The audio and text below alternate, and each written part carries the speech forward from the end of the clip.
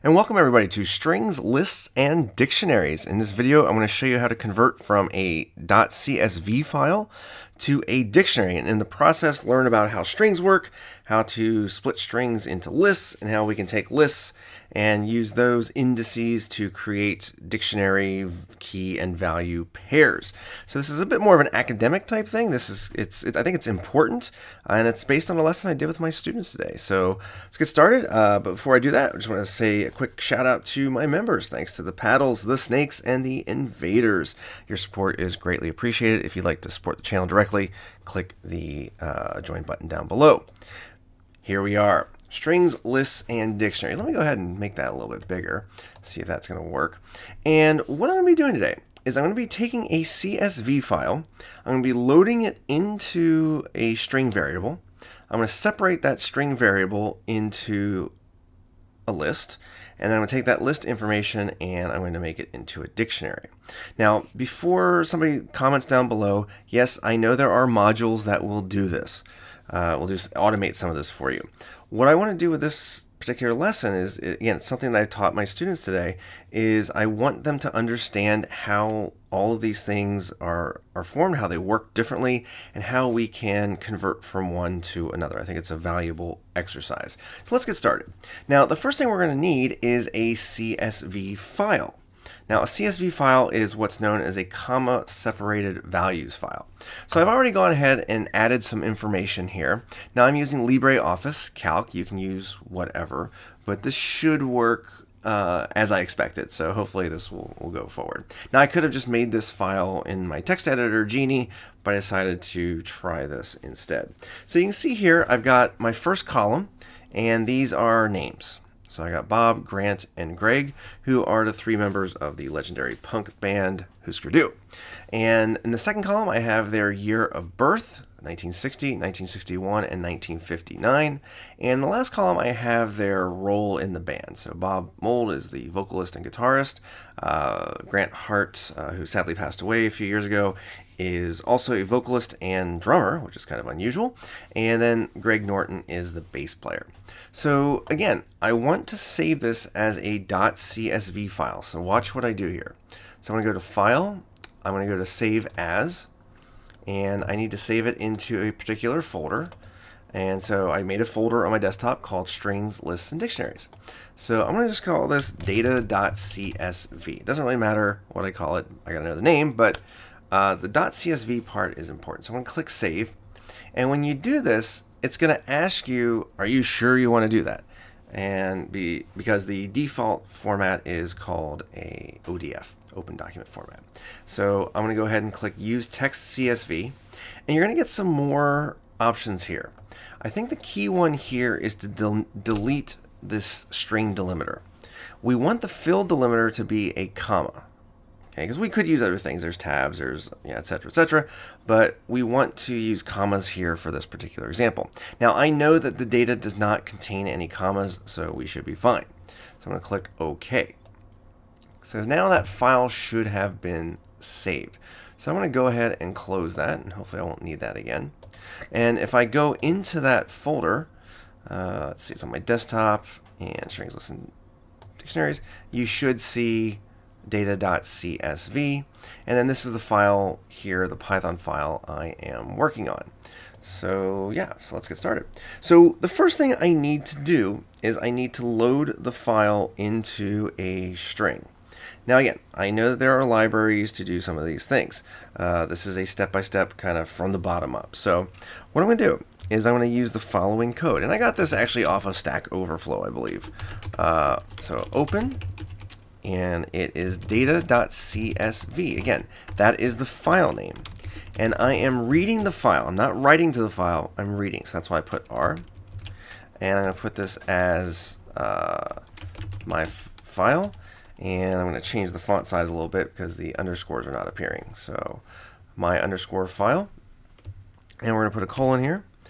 And I'm going to put here data because I'm reading data in and it's going to be my file dot read. Now there are other ways to do this. I can read it in you know line by line, but I'm doing it this way because it's a short file and it's a little bit easier I think to understand. So just I'm going to test it and see what's happening in my program. So I'm just going to go ahead and print out data. So I'm going to save that. I'm going to run that. And again, I'm in Geany here, and Geany is cross-platform. Check it out. And you'll see down below, it printed out exactly what was in my CSV file. So that's pretty cool. Um, so the CSV format, as you can see, is it's going to be text, comma, text, comma, text. And then we have a new line character at the end here, and we'll go down. So you can see, I'm going to try this here, print type data. So if I run that again, you can see that this is a string. Okay, so I've just loaded the data into a string. Now, I'm going to get rid of that. I don't need that anymore. What I want to do, so I'll go ahead and comment that. So load uh, data into string variable. So the next step is I want to create a list uh, of each row. And this is very, very easy in Python, so watch what I do here. So I'm going to be rows equals data. So this is the name of my string variable. And dot split quote. And the split is used to separate strings. And this is called a delimiter or delimiter, depending how you want to say it. And in this case, it is going to be forward slash n. At least I think it is. Some systems it could be forward slash r, but I'm pretty sure forward slash n is what we need here. And to test it, I'm just going to go ahead and type print rows. So I'm going to hit F5. And you can see here now, my output, I've got a list. You can tell by the brackets here. I've got a string, first string, which is index 0. It's Bob, 1960, vocals and guitar. Then I've got Grant, etc., etc., and Greg. And you also notice I've got this empty one here at the end. And we're going to have to deal with that later. Okay. But for now, we'll leave it the way it is. So I'm going to say print type rows, and I'm just doing this to show you that the type that we've got. And you can see that that is a list. So we have converted, okay, so our code here, and I'm trying out some fancy new stuff here. So you can see our code, we take this data file here, and then we split it using the split method, and into this other variable. I don't know if this is helping or hurting. And then, then we got our data in rows, as you can see down here. Um, this is just something, today's like the first day I'm actually trying this, and I feel like John Madden, if you know who that is. So I'm going to go ahead and get rid of that. And so now we have our data in rows. Now notice each row is now a string. Okay, so that tells us something. So what I want to do is I want to separate this information into three parts. So name, birth year, and I'll just say role. So role in the band. So now I want to iterate through each row. So for row in rows, I'm just going to go ahead and print row here real quick. If you're not familiar with this stuff, this is something I'm doing a lot with my students, so they would know what this is. But just in case, so you can see each row is printed out separately. Now what I want to do again is I want to separate each of these into their own data point. Now the way I'm going to do this is split again. So I'm just basically going to repeat what I did here, but it's going to be a little bit different. So I'm going to say, I'm going to put a little comment here, split, split the row into, uh, I'll call it info to make it clarify a little bit. So we'll say the info equals row. Notice it's row, not rows, because I'm doing each row individually, dot split, and in this case the delimiter is the comma because the data has commas. It's comma separated values. So again, just to show you what's going on, I'm going to go ahead and print info. And actually, I'll tell you what I'll do. I'll do, do it one time. I'll go type info, comma info. So let's go ahead and run that. And you can see I've got a list And here's the list. So notice Bob, Grant, and Greg are all in position 0, or index 0, I should say. These are all in 1. But also notice these are strings. These are not integers. You know, to the human eye, they look like integers. To the computer eye, they are strings. And we'll deal with that a little bit as well. And we've got vocals and guitar, vocals and drums in position of index 2.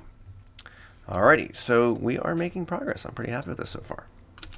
Now, this is one of those things where I talk to my students, you know, I'm just going to say I'm going to separate out the data. Not sure how, how else to put that. Um, but we've got three pieces of data. We've got the name, we've got the birth year, I think that's one word, and we've also got the role in the band.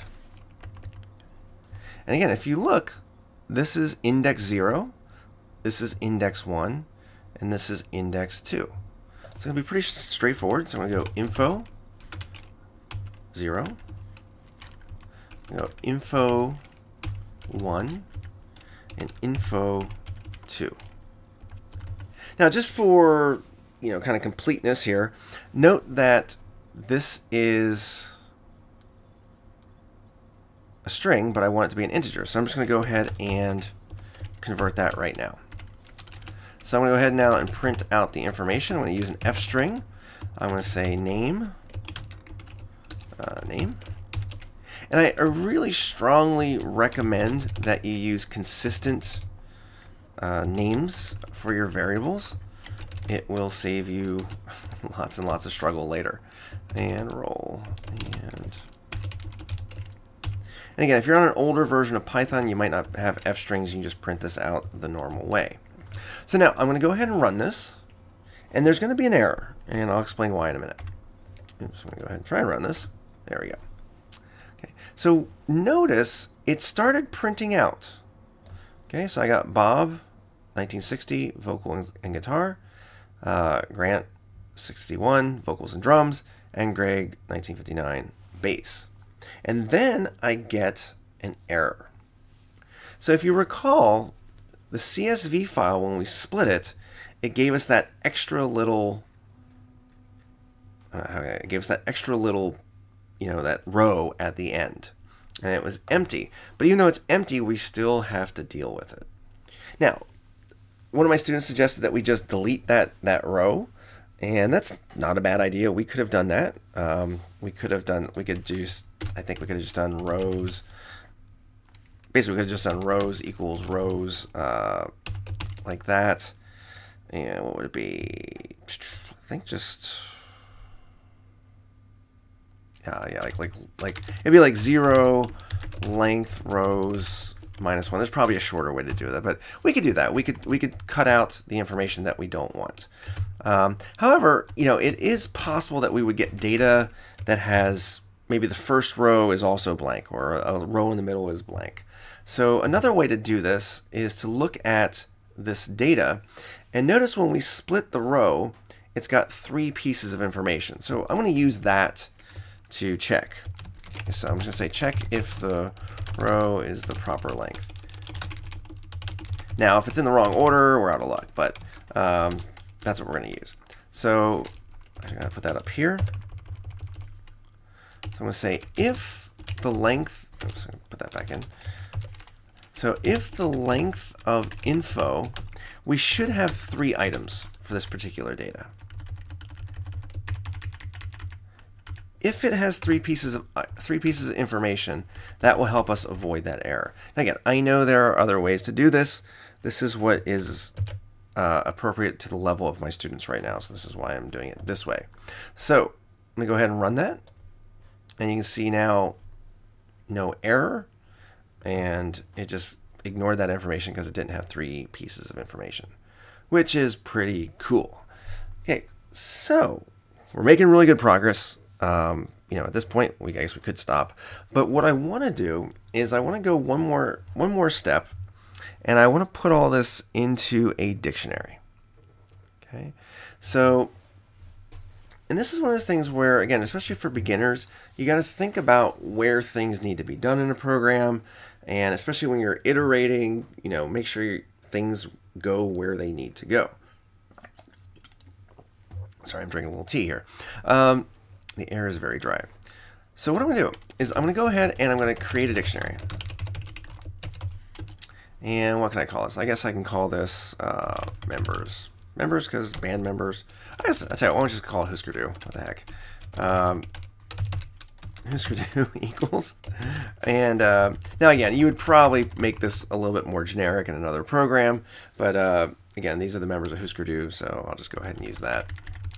So what I want to do is I want to use the name as the key. Again, I'm assuming you already know what dictionary is. Uh, if you don't, watch my dictionary video, come back. Um, so what you want to do is I want to use the name. See, I can bring this back.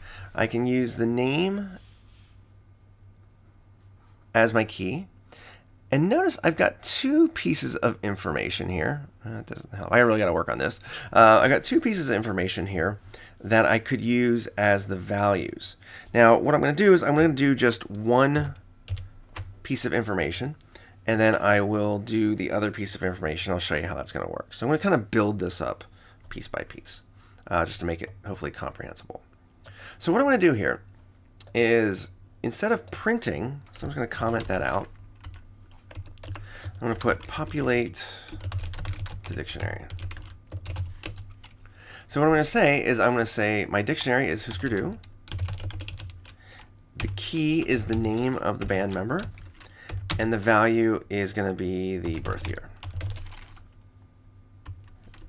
And then what I'll do is once this dictionary, or once the dictionary is populated, once the all the rows have been read, I'm going to go ahead and print the dictionary. So let's try that. All right, there we go. So you see now, my key is Bob, and the birth year is 1960. Grant, 1961. Greg, in 1959. Okay. Now, however, you probably see, well, okay, the, the role info uh, is gone. Okay, we've lost that. Now, what we could do is we could make a list, you know, Husker Du birth year, and or make a, a gonna do birth year, make a, another dictionary who's going to do roles. Okay. Um, or maybe I should just, I probably should just make this band, but that's okay. Um, you get the idea. So here's where it gets a little tricky, especially for beginners. And what we're going to do is we're going to actually put a dictionary inside of the dictionary. Okay, let me, let me repeat that. We're going to put a dictionary inside of a dictionary. Okay? And in the second dictionary, the key is going to be birth year, and the other key is going to be role. Okay, so watch what I do here. So again, the outer dictionary, the main dictionary, Husker Du, the key is the name. I'm going to make another dictionary. The first key is birth year. I'm just going to put birth year. The second key is going to be role. And I'm going to put role here. And so if I run this, you can see now I've got Bob, and I got his birthday year is 1960. His role is vocals and guitar. I've got Grant, okay, and so on and so forth. I'm not going to keep repeating myself. You're probably getting tired of hearing it. But you notice there is a dictionary inside of the dictionary. So what I could do here is I could say for name in Husker Du, because the name is the key. I could just put key here if you I wanted to, or for name in Husker Du. I'll just use name. Print name. Sorry, no, print Husker Du. Do name.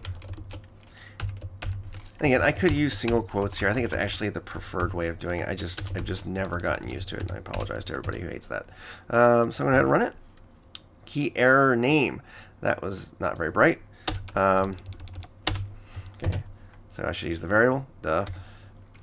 Okay, so you can see now, actually what I should have done is I should put name, comma. Let's go ahead and do that. So you can see now I got Bob, and then that's a dictionary now. So this is one dictionary, but I still want to get birth year and role out of this. So what I'm going to do is I'm going to do the following. I'm going to put uh, birth year. And comma. I'm just going to copy that because I'm kind of lazy.